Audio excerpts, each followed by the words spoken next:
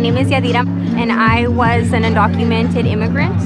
To me, it's important to show support because when my brother was deported, I didn't have any.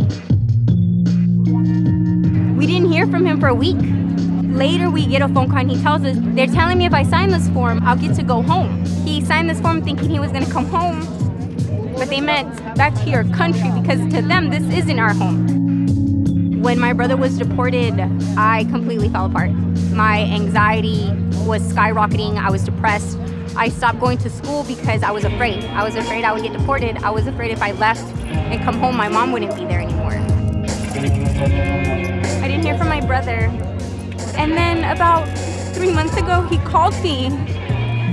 That was the highlight of 2017. I got to find out that my brother was okay and that he's alive.